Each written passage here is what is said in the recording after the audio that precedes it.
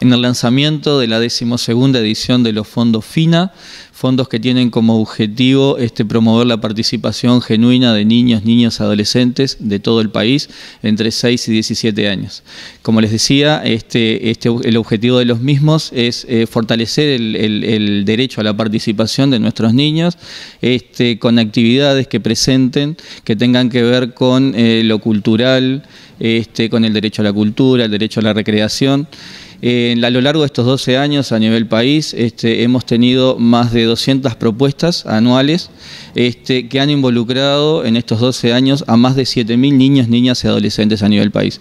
Nuestro departamento, eh, Tacuarembó, se ha caracterizado este, por recibir en todos estos años diversas propuestas y lo más importante que lo tenemos valorado desde, desde, desde la institución es que han, han llegado a todo el departamento. En estos años hemos recibido propuestas de la ciudad de Tacuarembó, hemos recibido propuestas de Paso de los Toros, de Tambores, de Curtina, nos parece sumamente relevante este, que estas iniciativas y esta promoción de derechos pueda alcanzar a toda la población de niños, niños y adolescentes. Este, este año nuevamente tenemos a, las compañeras que van a, contar su experiencia, que ha sido muy rica, y lo que se busca, como el resto de los años anteriores, es este, que estos, estas propuestas sean abarcativas, que incluyan a, a toda la población en la medida de lo posible, este, eh, porque dentro de las ponderaciones también es un aspecto importante que en realidad las propuestas sean abarcativas para niños, niños, adolescentes, acompañados por adultos solamente. O sea que nuevamente en este año este, promover el derecho a la participación de nuestros niños, niñas y adolescentes, acompañado por sus adultos referentes, y ejercer ese derecho de forma genuina. Eh, Tania Brum, la referente este, de participación del departamento, les dará detalles en cuanto a los plazos de presentación y las ponderaciones. Gracias.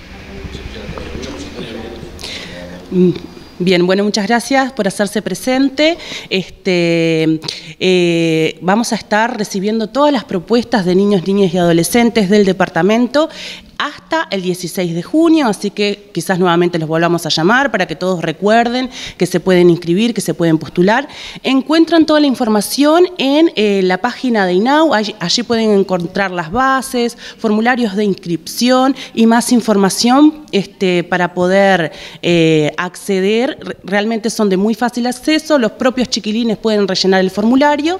La idea es que estas propuestas eh, promuevan cualquier derecho, que apunten a que ellos sean los protagonistas, que no sean los únicos beneficiarios, este, sino que impacten a una población más amplia y realmente allí están todos los criterios que el tribunal va a tener en cuenta a la hora de evaluar esas propuestas.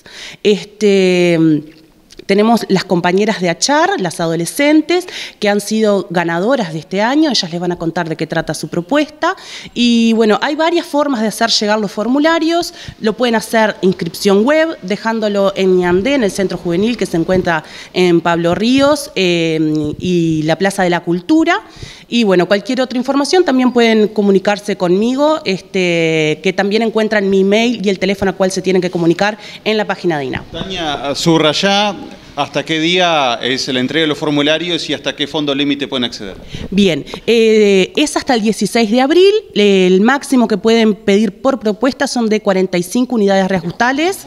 De junio, perdón, 16 de junio, este, el máximo que pueden pedir son hasta 45 unidades reajustables, al valor de marzo. Son aproximadamente unos 71 mil pesos. Eh, mi nombre es Jocelyn Alves, venimos del Liceo Rural de Achar, eh, con el proyecto Murales Artísticos eh, a cielo abierto. Nuestro nombre, nuestro nombre, perdón, nuestro proyecto se llama Pintando los Derechos y bueno, más que nada fue una linda experiencia para todos nosotros, compartimos con eh, Gustavo, que es el, profe que nos acompañó, y talleristas, y eh, adolescentes de otras clases, niños.